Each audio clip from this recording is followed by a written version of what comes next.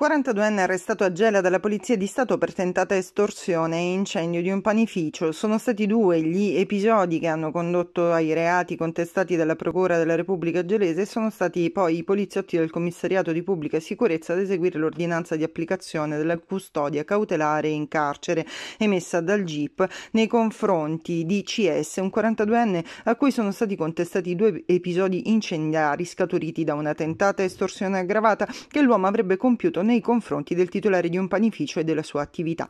Tutto si sarebbe verificato lo scorso novembre quando a distanza di pochi giorni ci sono stati i fatti. Le modalità particolarmente allarmanti, visto l'uso del combustibile e gas, hanno fatto partire da subito le indagini serrate e coordinate dalla Procura della Repubblica del Tribunale di Gele delegate al commissariato di polizia. Due episodi incendiari sono stati commessi di notte durante l'orario di chiusura. La prima volta sarebbe stato danneggiato l'ingresso del panificio, sia la base di marmo marmo che la vetrata, le fiamme avrebbero poi annerito la saracinesca e le pareti all'interno del panificio tra fiamme e fumo.